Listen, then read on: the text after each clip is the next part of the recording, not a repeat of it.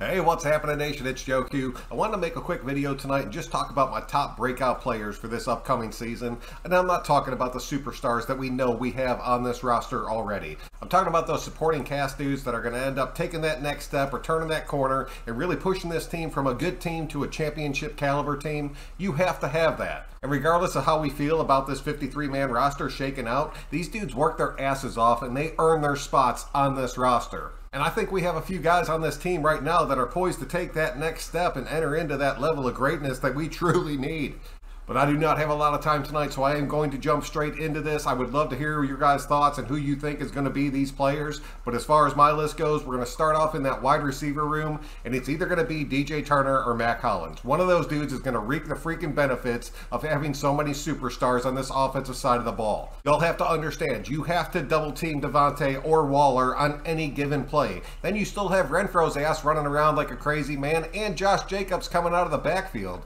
Our number two wide receiver is going to be singled up in one-on-one -on -one coverage on almost every single play. Whichever one of those two guys can capitalize on that shit is going to have a crazy good season this year.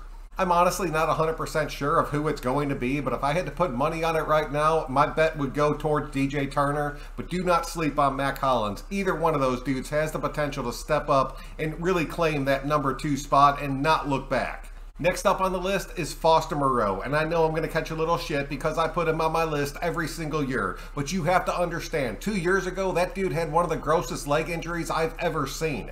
And last season, his ass was not completely healthy. This year, he is fully back. He is ready. And I am telling you right now, that dude is going to be a big part of this offense. Whether it be in the blocking game or in the run game or just going on those little flare routes, that dude's another one that's going to be singled up on every single play. And he can catch and he can make some big ass plays. Do not forget that Foster is on this team because I am telling you that dude is destined for freaking greatness. And I was happy as shit to see him back on this 53.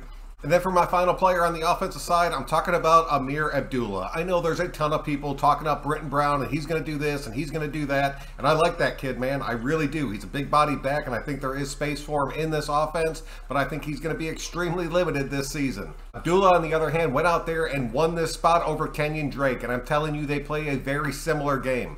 Now, don't get me wrong, I was pissed when Drake ended up getting cut off this team in favor of Abdullah, but at the same time, he earned that shit. He went out there and played harder, looked better in practice, was willing to put in the work when Kenyan Drake was not. I'm telling y'all, he is going to be a big part of this offense. We kept him for a reason. And I'm not sitting here saying that he's going to end up going to the Pro Bowl and his stat line is going to blow you out of the freaking water. All I'm saying is that kid's going to be a valued piece to this offense that's jacked full of weapons right now because he's going to have one-on-one -on -one opportunities. And he understands that and he's going to exploit the shit out of that. All right, and then moving over to the defensive side of the ball, where I know I'm going to catch a ton of shit for this, but it's not going to be with this first player. But I have talked about him in my previous videos. Luke Masterson is going to be huge on this defensive side of the ball. Granted, it's going to be a lot of special teams, but you put that kid in the open field, he's a playmaker. He's fast as shit, and he makes things happen when he is on the field. I was so damn stoked when we brought him onto this team, and then the fact that he made the 53 and not the practice squad just proved to me everything I needed to know about him. Keep a close ass eye on this kid. He's going to be special. Y'all have no idea how much I freaking love this linebacker room. And then my final three defensive players are all on the defensive line. And in today's NFL, you have to have a solid ass defensive line rotation or teams are going to end up just bull rushing straight through you. But we have three players that are on this defensive line to support our starters and be those rotational pieces that you have to have on a week to week basis. And the first one I'm going to talk about is the one that I know I'm going to take the most shit for. But this kid worked his ass off. He made that 53 and you know that I love his ass and it is Cleve Ferrell. And regardless of all the bullshit and all the clickbait that you watched through the offseason, this kid put in the work and he's stuck on this roster. And yes, I will agree with you. We overreached and we drafted his ass way, way too early. We probably would have been able to snag him in the second. That is what it is. You can't go back in time. You can't change that shit. And that is not Clee's fault. That is our management's fault. But that kid is hungry as hell, and right now I guarantee you he has a chip on his shoulder. Sometimes it takes a few years to adjust to the NFL. Some players you're willing to wait for it, and other players you're willing to just kind of shit on completely. And when they're a first round pick, you're willing to do that a hell of a lot faster than you normally would. You need to give this kid his opportunity. He's been getting better and better every damn season. He's been going through coaching changes. He's seen this thing turn over more than a few different times now. But I guarantee you, Patrick Graham's going to have his ass dialed in, and when he rotates either to the inside or the outside, even though me personally would rather see him play on the inside, the kid is going to eat this season. Next up on that defensive line, it's Malcolm Koonce. That kid is always so damn close but never finishes. It drives me insane. But it seems like through this preseason and through camp, he's really kind of taken a step forward. I really like what I've seen from this kid so far.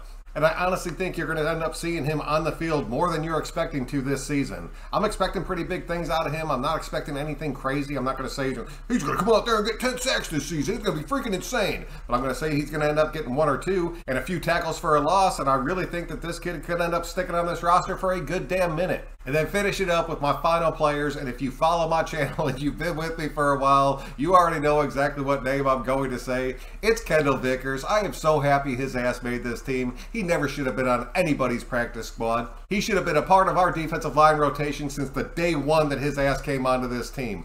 I know how good he freaking is. That kid is a fucking animal. If you have any doubts about it, just go back and watch any game where we play Kansas City and he's in it. The dude just ruins them.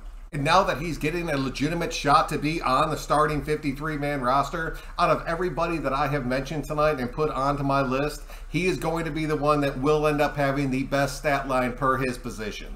He is a true hidden gem, and I am expecting a brilliant freaking season from him. But that's my list. Be sure to hit me up. Let me know who your breakout players are. The dudes that'll just show up and help take this shit to the next level. I really want to hear from y'all because there's a bunch of dudes that I was going through and I was like, man, I could put him there, I could put him, but I really just wanted to stick with the guys that I did have. So definitely share your thoughts on that. If you wouldn't mind clicking that like on your way out, it really does help me out. If you haven't subbed up yet, I really would appreciate that. But until next time, I'm Joe Q. Thank y'all very much for checking out another one, and we'll see y'all later.